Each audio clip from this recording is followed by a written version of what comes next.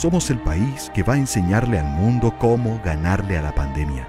Somos Costa Rica, los que nos levantamos cada mañana para que todas las familias tengamos alimento, electricidad, agua, medicinas, salud, justicia, seguridad y tantas otras necesidades. Hoy arriesgamos nuestra salud para conservar la de nuestro país. No arriesgues tu vida ni la de otras personas. Con tu ayuda seguiremos ganándole a la pandemia. No podemos descuidarnos. Aún nos queda mucho por delante. Quédate en casa cuidando a tu familia, mientras nosotros cuidamos todas las demás. Unite vos también a este gran equipo que estamos tocando corazones. Hacelo por la familia, hacelo por Costa Rica. Quedándonos en casa, cuidamos el pura vida. Si nos quedamos en casa, si guardamos la distancia a los que salimos a trabajar, si no nos tocamos la cara y nos lavamos las manos, Costa Rica le seguirá enseñando al mundo cómo ganarle al coronavirus. somos el país que luchó para echar a William Walker Luchó para acabar con el analfabetismo. Y llevó la salud a todos y todas. Somos Costa Rica. El pueblo valiente que, sin ejército, sabe luchar para proteger lo nuestro. Hoy estamos jugándonos el segundo tiempo y nos falta mucho para ganar. Con tu ayuda seguiremos ganándole a la pandemia. No podemos descuidarnos, aún queda mucho partido por delante. Hoy le estamos enseñando al mundo lo que significa nuestro pura vida, tocando a las personas que queremos bien solo, con, el corazón. Unite al equipo que, Cuidándonos desde nuestros hogares o guardando distancia en la calle y el trabajo, luchamos por nuestra patria, porque el coronavirus no conoce la fortaleza de este gran conjunto llamado Costa Rica. hacelo por la familia, Hacelo por Costa Rica. Quedándonos en casa, cuidamos el pura vida.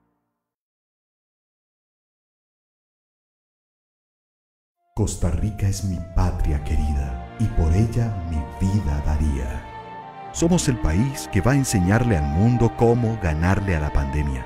Somos Costa Rica, los que nos levantamos cada mañana para que todas las familias tengamos alimento, electricidad, agua, medicinas, salud, justicia, seguridad y tantas otras necesidades. Hoy arriesgamos nuestra salud para conservar la de nuestro país. No arriesgues tu vida ni la de otras personas. Con tu ayuda seguiremos ganándole a la pandemia. No podemos descuidarnos. Aún nos queda mucho por delante. Quédate en casa cuidando a tu familia, mientras nosotros cuidamos todas las demás. Unite vos también a este gran equipo que estamos tocando corazones.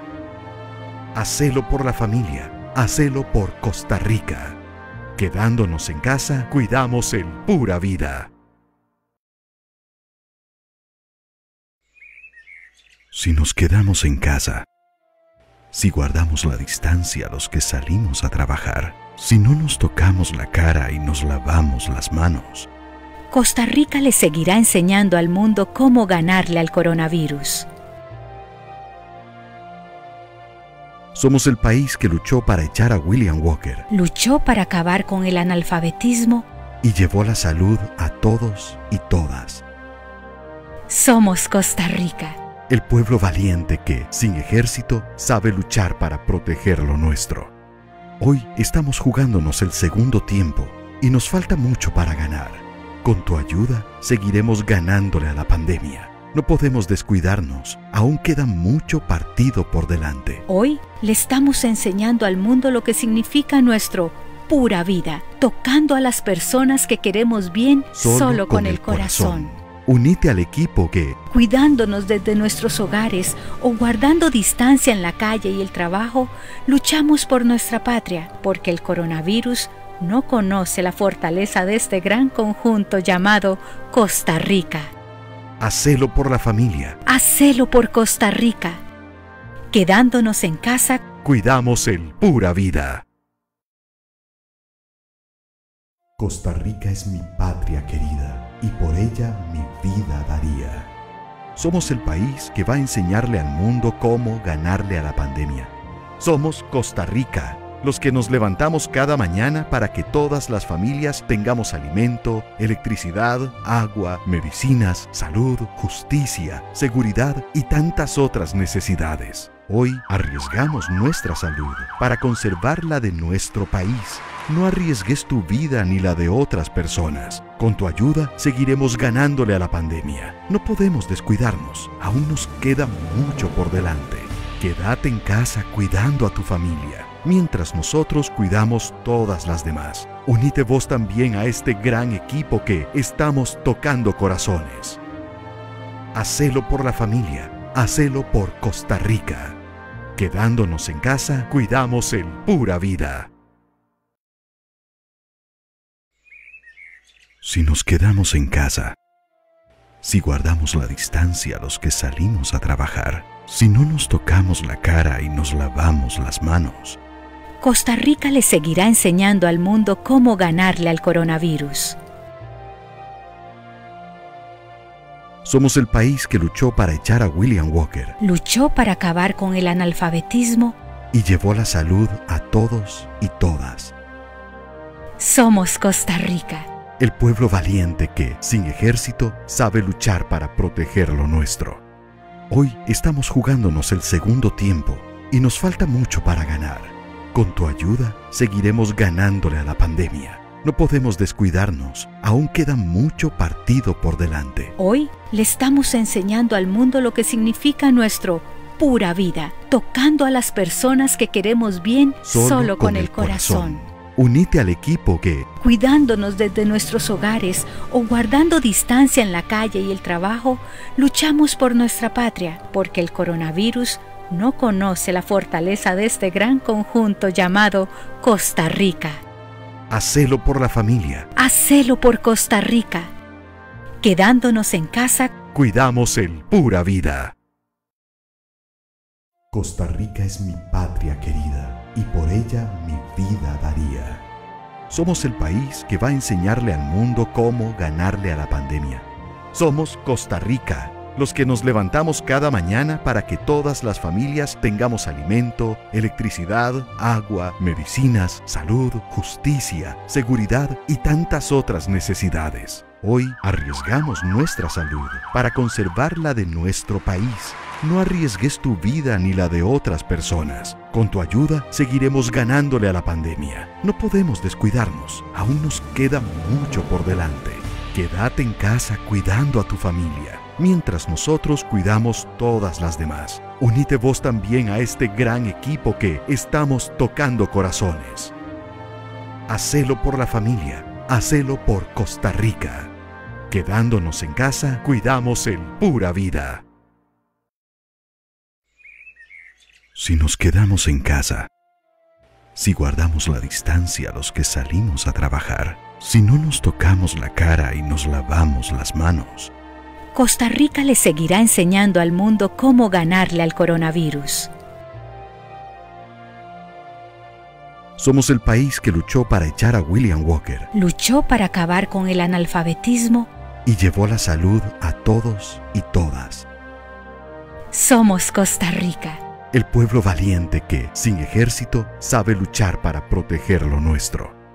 Hoy estamos jugándonos el segundo tiempo y nos falta mucho para ganar. Con tu ayuda seguiremos ganándole a la pandemia. No podemos descuidarnos, aún queda mucho partido por delante. Hoy le estamos enseñando al mundo lo que significa nuestro pura vida, tocando a las personas que queremos bien solo, con, el corazón. Unite al equipo que, cuidándonos desde nuestros hogares o guardando distancia en la calle y el trabajo, luchamos por nuestra patria, porque el coronavirus no conoce la fortaleza de este gran conjunto llamado Costa Rica. Hacelo por la familia. Hacelo por Costa Rica. Quedándonos en casa, cuidamos el pura vida. Costa Rica es mi patria querida y por ella mi vida daría. Somos el país que va a enseñarle al mundo cómo ganarle a la pandemia. Somos Costa Rica, los que nos levantamos cada mañana para que todas las familias tengamos alimento, electricidad, agua, medicinas, salud, justicia, seguridad y tantas otras necesidades. Hoy arriesgamos nuestra salud para conservar la de nuestro país. No arriesgues tu vida ni la de otras personas. Con tu ayuda seguiremos ganándole a la pandemia. No podemos descuidarnos. Aún nos queda mucho por delante. Quédate en casa cuidando a tu familia, mientras nosotros cuidamos todas las demás. Unite vos también a este gran equipo que estamos tocando corazones. Hacelo por la familia, hacelo por Costa Rica. Quedándonos en casa, cuidamos el pura vida.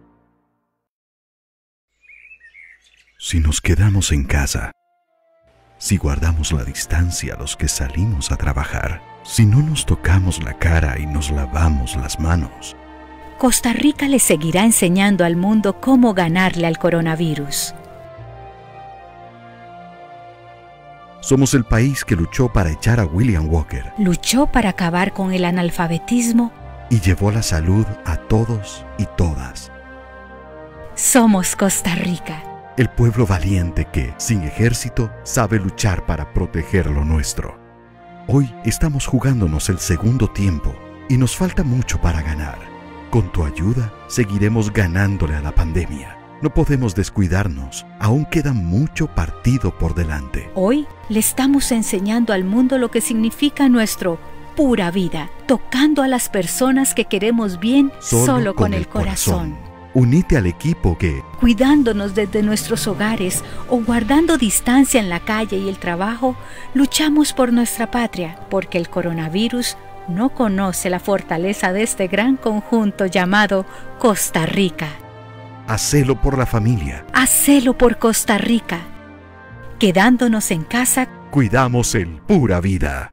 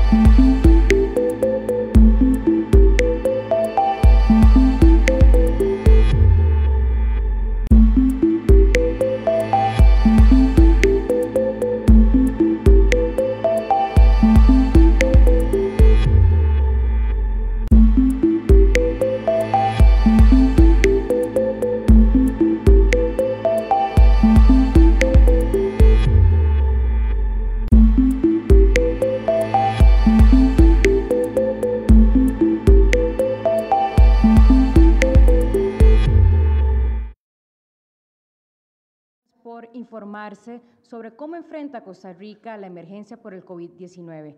Hoy nos acompaña el señor ministro de Salud, el doctor Daniel Salas, quien nos brindará, perdón, de inmediato el reporte epidemiológico para hoy sábado.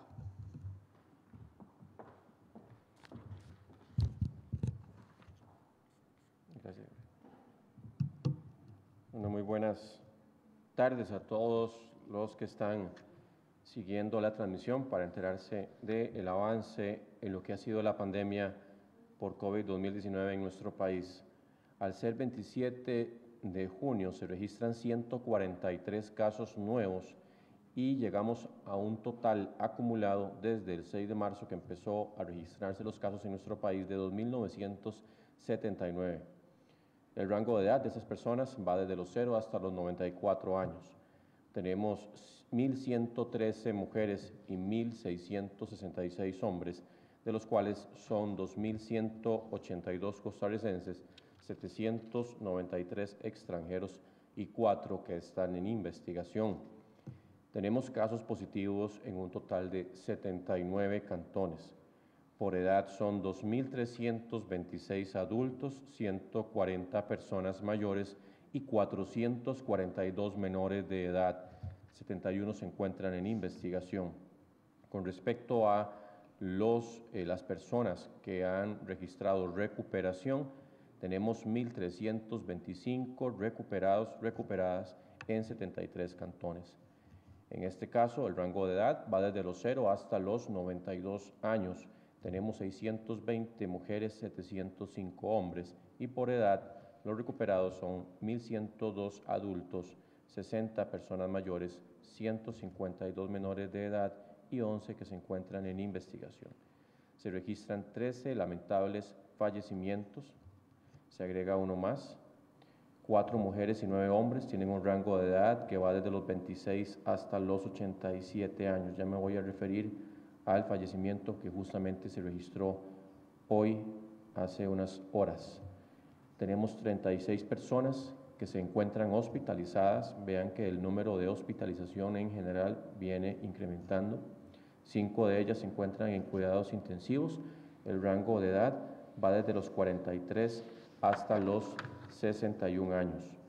Y con respecto al lamentable nuevo fallecimiento, se registró esta mañana, es una mujer de 78 años, es costarricense, residía en la provincia de Guanacaste. El deceso ocurrió en el Hospital San Juan de Dios, en donde estaba internada desde el 24 de junio en la unidad de cuidados intensivos. La mujer dio positivo por COVID-19 el mismo día que fue ingresado ingresada perdón, a la UCI. Ella tenía como factores de riesgo hipertensión arterial, diabetes mellitus y la misma edad, que recordemos, eh, siempre tenemos que cuidar muchísimo a las personas mayores, el, cuidado, el, vuelco, el cuidado de la, de la sociedad tiene que ser muy en especial con ellos, aunque todos los que tienen factores de riesgo pueden enfermar gravemente. Si quiero hacer ese llamado que por favor los adultos mayores los cuidemos, los chiñemos mucho, pero desde lejos, que el contacto sea el menor posible, que se ocupan hacer un mandado, hacer el apoyo para que no tengan que salir a lugares públicos y a todos los administradores y dueños también de lugares de larga y mediana estancia para adultos mayores. Recordemos que tienen que estar verificando el cumplimiento muy estricto de todos los protocolos que buscan proteger a esta población que es la más vulnerable para lo que es COVID-19. También quería indicar que en la, la información que pone a disposición el Ministerio de Salud con todos los datos que se construyen gracias al trabajo también que aporta obviamente la Caja Costarricense de Seguro Social, el Inciensa y el sector privado, en lo que es la, donde dice todo sobre COVID en la página web del Ministerio de Salud, está disponible la información por distrito también. Esa no la incluimos en el boletín que está como presentación en la página web, porque si no el boletín sería sumamente extenso. Recordemos que son eh, más de 450 distritos y que es muy complejo en realidad agregarle en la lista del reporte del boletín, pero sí está disponible en la página web del Ministerio de Salud para que también los que quisieran consultar por distrito la distribución de casos se actualiza diariamente. Pero también aquí quiero acotar a que por favor no, o sea, y lo hemos dicho desde el inicio, el, el, el COVID avanza y muchas veces avanza silenciosamente. Entonces puede haber un distrito que tenga muy poquitos casos o no tenga casos del todo y sí exista riesgo importante de transmisión. Puede ser que ese riesgo lo estemos detectando dos, tres días después, cuatro días después. Así que, por favor, no se confíen en que si un cantón no está en alerta naranja o, o que es de las zonas que hemos detectado que tiene una condición especial para eh, influencia desde los cantones naranja, eh, o bien un distrito que no tenga un aumento de casos, no, por favor, no confiarse. Aquí los protocolos del no salir de la casa si está enfermo, de lavarse las manos en un lugar público antes de tocarse la cara, si tiene factores de riesgo, evitar al máximo quedarse en la casa, evitar al máximo ir a lugares públicos, el no saludarse de mano, de beso, de abrazo, el, el mantener la distancia de 1.8 metros entre burbuja social o bien ahora el uso obligatorio de mascarilla para ciertos lugares. Recordemos que a partir de hoy ya rige el uso obligatorio de las mascarillas para eh, establecimientos o lugares como el transporte público, como bancos, como iglesias, en donde puedan retomar la fase 3 o también en eh, todo lo que es la atención para el público, las personas que dan atención al público eh, o los servicios de salud también, entre otros, que tienen que estar usando las mascarillas de forma obligatoria.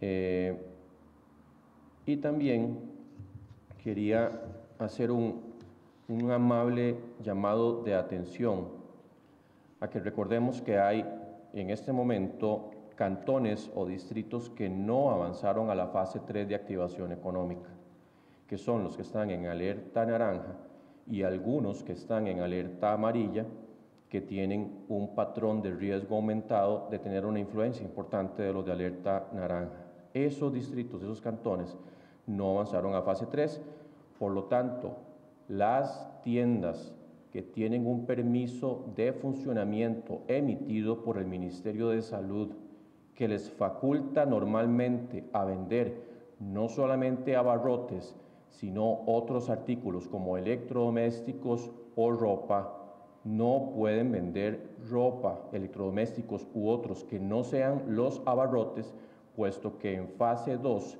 lo que se faculta los fines de semana es la venta de abarrotes, no de otro tipo de artículos. Así que hago ese muy amable llamado de atención a estas tiendas que pueden estar en este momento habilitadas para venta solo de abarrotes, pero que están aprovechando que en el permiso sanitario de funcionamiento los, los faculta para venta ampliada, pero no, eso no corresponde con la fase 2 en la cual están muchas de esas zonas. Así que por favor, para que se abstengan de vender esos artículos y lamentablemente si encontramos que están vendiendo artículos que no están permitidos en fase 2, pues tendremos que suspender el permiso sanitario de funcionamiento por varios días justamente por estar transgrediendo, por estar violentando una medida sanitaria. Así que por favor, este, hago ese amable recordatorio, ese amable llamado de atención para que nos acoplemos a las condiciones que rigen de acuerdo a las eh, lo que ya indicamos ayer, cantones o distritos que están en alerta naranja o bien los que están en una situación de no avance a la fase 3 porque tienen un patrón de movilidad desde los eh, distritos o cantones que están en alerta naranja. Esos no pueden estar vendiendo o tener tiendas abiertas que vendan artículos que no sean abarrotes.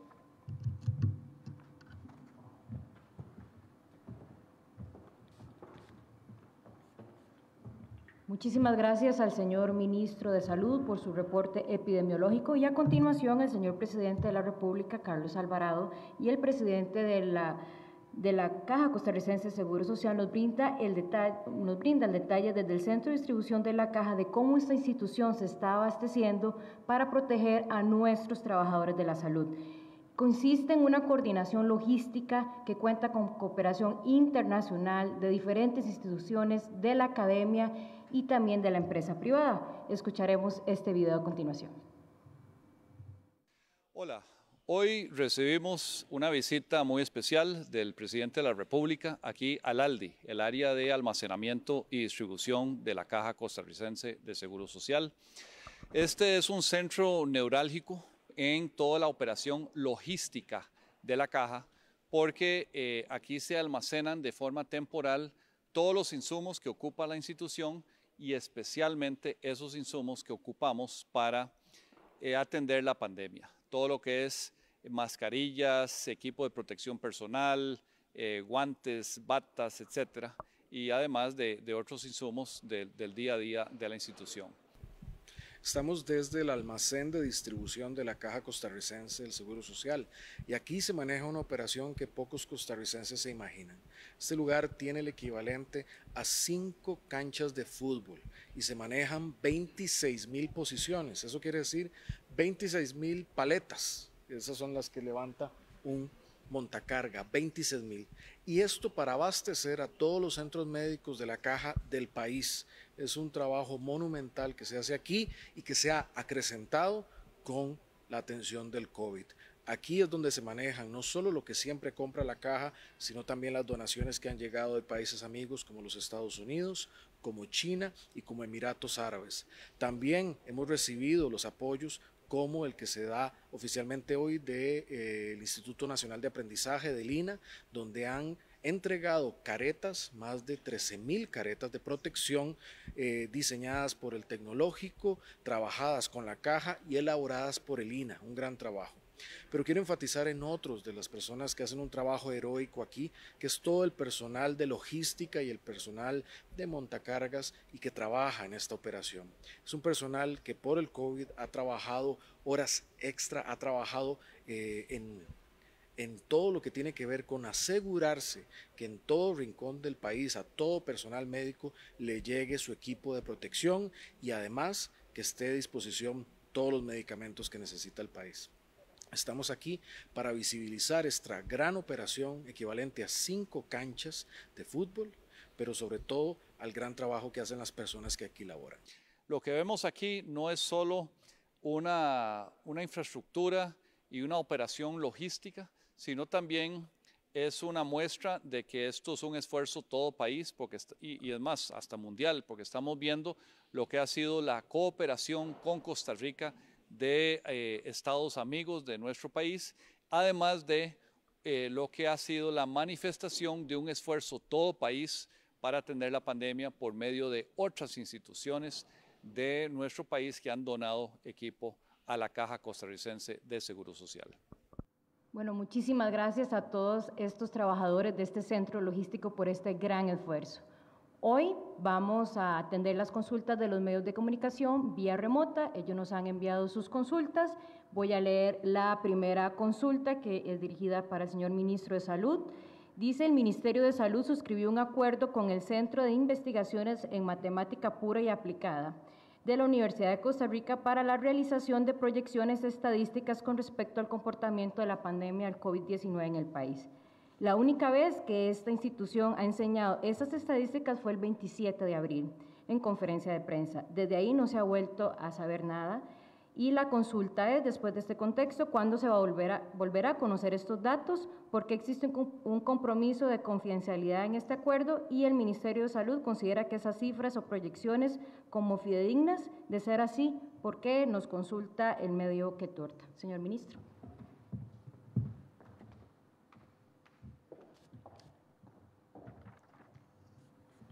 Sí, yo antes eh, quisiera detallar los que en este momento cantones o más bien distritos que tienen una condición de que están en alerta amarilla pero que no avanzaron a fase 3, justamente por lo que indicaba anteriormente. En esos están Curridabat, el cantón. El cantón de San José tenemos los distritos de La Uruca, de La Merced, de Hospital, de Atillo, Matarredonda, Catedral Zapote, San Francisco de los Ríos y San Sebastián. En el caso de Escazú, San Rafael, el distrito. En el caso del cantón de Acerrí, los distritos de Acerrí y de San Gabriel. El cantón de Cartago, el distrito de Corralillo. El cantón de Heredia, el distrito de Ulloa. Recordemos que esto lo estamos haciendo justamente para qué? Para evitar que avancemos a una fase eh, de alerta roja, justamente, o bien de que esos cantones más bien se eleven alerta naranja, esos distritos, porque queremos justamente evitar exposiciones y eventuales transmisiones que nos puedan complicar la economía en general. Así que si logramos hacer las contenciones adecuadas, justamente con el buen comportamiento en general de la población, podemos eh, avanzar y que eventualmente ya estas zonas puedan avanzar a la fase 3 lo antes posible, cuando ya detectemos que el riesgo ha disminuido en los cantones de fuerte influencia por parte de los que están en alerta naranja. Y yo también quería decir, hoy tenemos, tenemos 36 personas hospitalizadas, es la cifra más alta que hemos tenido no bien así en cuidados intensivos, pero recordemos que la hospitalización puede llevar justamente a una situación crítica. Y también decirles que eh, lo que hemos venido diciendo, ustedes acaban de ver el gran volumen de, recursos, de insumos que se manejan en la caja, es algo enorme la operación, la caja es de verdad una entidad este, gigante, verdad que tiene mucha, mucha capacidad logística y muchos insumos justamente que se están eh, almacenando constantemente y distribuyendo a diferentes partes del país. pero y también hay que reconocer el trabajo que ha hecho la Caja Costarricense de Seguro Social, bueno, con la gestión de apoyo tanto del Ministerio como de todo el, demás, el gobierno, para que puedan tener una capacidad aumentada en el caso de que tengamos un eh, aumento de los casos críticos, eh, especialmente los que tengan insuficiencia respiratoria, que ocupan un ventilador mecánico. Recordemos que los ventiladores mecánicos es lo que mucha gente conoce o que se llama como intubar a un paciente para tenerle esa máquina que le permite respirar porque ya esa persona, el mismo virus le provoca que no pueda respirar. La misma respuesta que genera el cuerpo ante el virus no le permite a esa persona respirar por sí mismo. Y yo sí quiero hacer una acotación. O sea, tenemos que poner todo de nuestra parte, tanto los ciudadanos como la industria como las instituciones en cumplir con los protocolos y las medidas sanitarias, porque de verdad que vean, aquí nunca en Costa Rica hemos tenido nunca que negarle una, un respirador artificial a alguien que lo amerita, que lo necesita. Y si los casos siguen creciendo eh, en una manera muy importante, si vemos que igual siguen habiendo fiestas, siguen habiendo eh, las diferentes actividades que rompen las burbujas sociales, algunas de esas personas que ocupen un ventilador no lo van a tener disponible. Así que es para indicarles que ningún país en el mundo, por más que se haya fortalecido su capacidad, va a poder dar abasto si tenemos una situación incremental, una situación de curva exponencial, va a colapsar. Y muchas personas lamentablemente no van a poder tener ese respirador artificial mecánico cuando no puede respirar por sí mismas. Así que si todos colaboramos, esto no va a ocurrir. Si seguimos todos en la misma línea, esto no va a pasar. Y nunca en Costa Rica ha tenido que, que negársele, como indico, eso sería algo inédito, nunca antes en la historia. Y por favor, yo creo que todos podemos hacer mucho para evitar que lleguemos a ese punto. Con respecto a, al tema que me preguntaban, que era con respecto a las proyecciones, eh, el acuerdo de confidencialidad, en realidad nosotros hacemos esos acuerdos, a pesar de que es obviamente una universidad pública, los hacemos siempre que tenemos ese tipo de convenios de cooperación para, en este caso, un modelamiento matemático, un modelamiento por un modelo que se llama redes, que lo que contempla son todas las condiciones que se han dado en Costa Rica con los contactos, cómo se han ido rompiendo las burbujas sociales, cómo se han ido dando los clusters, y eso permite hacer una proyección. En esto nosotros hemos hecho públicas esas proyecciones, están en la página también del Ministerio de Salud, disponibles para todos los que quieran consultarlas y justamente ya la próxima semana vamos a estar dando una actualización de esas proyecciones. La idea es estarlas actualizando con frecuencia eh, y igual estarlas haciendo públicas eh, para lo que eh, justamente la población pueda verlas. Recordemos que en esas proyecciones nos dice cómo va a estar eventualmente la cantidad de casos a ciertas semanas, ciertos días, y también la hospitalización y la ocupación en camas de cuidados intensivos, cómo se puede comportar de acuerdo a diferentes escenarios. Si nos, todos nos comportamos bien, si mantenemos las burbujas sociales, el escenario de la protección va a ser más favorable. Vamos a poder dar abasto cuando haya un aumento en la demanda de cuidados intensivos y no va a haber un aumento de los fallecimientos en una cantidad tan grande como podría darse.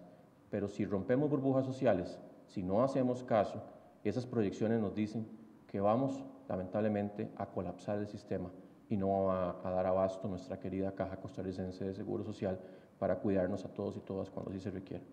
Gracias, señor ministro. Eso es con respecto al tema. Disculpe, señor ministro, continuamos con la pregunta de la voz de Guanacaste por parte de los medios regionales. Estuvo en algún momento internada en un hospital de Guanacaste, la, adulta mayor que falleció el día de hoy. Era un caso sospechoso antes de que detectaran que tenía COVID-19. ¿Tiene algún nexo epidemiológico identificado, señor ministro? Eh, sí, con respecto a esto, bueno, no tengo todos los datos del caso, excepto los que ya di, pero sí es correcto que estuvo internada anteriormente en Guanacaste, en el Hospital de Liberia, antes de pasar al San Juan de Dios. Continuamos con las consultas de los medios regionales eh, por parte de Heredia hoy. ¿Cuál es la razón por la cual Ulloa en Heredia no avanzó a la fase 3? Eh, nos consulta el colega. Sí, recordemos que lo que hicimos fue ver los patrones de movilidad de los cantones o distritos que tienen una alerta naranja y con base en esos patrones de movilidad de áreas de influencia es que determinamos por qué los diferentes distritos que pusimos ayer en esa condición avanzaron y Ulloa justamente se encuentra dentro de esa área de atracción de zonas que están naranjas y que tienen un riesgo incrementado de que puedan progresar a naranja. O sea, en este momento lo estamos haciendo ¿para qué? Para que no progresen a naranja o eventualmente a roja. Es una medida de protección porque entre más actividades haya y más desplazamiento de personas hay un riesgo mayor. La última consulta por parte, en este caso, sería de las agencias internacionales, medios internacionales acreditados en Costa Rica, por parte de la OS de América. Para usted, señor ministro, ¿tiene preparada la cartera de salud, protocolos ante una eventual aglomeración de migrantes nicaragüenses debido a la negativa de su país para dejarlos pasar en el paso fronterizo de Peñas Blancas? Vean, ese trabajo del manejo fronterizo eh, insistimos, lo hemos venido manejando muy coordinadamente internamente dentro del gobierno, con todo lo que ha sido migración, fuerza pública, Cancillería, la Caja Costarricense de Seguro Social, obviamente en la parte operativa, el mismo Ministerio de Salud y demás. Hemos tratado de hacer todo lo posible para hacer el mejor manejo en el sentido de todas las inspecciones, los operativos, la vigilancia continua y eh, ya incluso tenemos un protocolo también ahí para el manejo eventual de posibles situaciones que puedan poner en riesgo, pero es importante indicar, pues aquí seguimos todos los días y sabemos que hay momentos diferentes que se van a ir presentando en el avance de la pandemia y tendremos que afrontar lo que podamos como país eh, en la medida de nuestras posibilidades. Yo sí quería decirles que con respecto al, al, respirador artificial, yo sé que tal vez me extendí un poco, pero eso es importante decirle a la gente, un respirador artificial, un respirador mecánico no garantiza que la persona vaya a salir con vida de la unidad de cuidados intensivos. Así que por eso es que también tenemos que cuidarnos doble. O sea, ya estar ahí es un paso muy delicado, muy crítico, que no garantiza que la persona vaya a salir. Y muchas personas de las que salen tienen secuelas, tienen que tener una terapia respiratoria, pueden quedar con importantes eh, problemas eh, en diferentes áreas motoras, incluso de respiración. Así que esto de verdad de cuidarnos todos y todas sigue vigente. Si hacemos cuidado o hacer caso de todos los protocolos sanitarios, no nos va a poner en esa ruta de colapso de los servicios de salud y que la caja, como indicábamos, no vaya a dar abasto.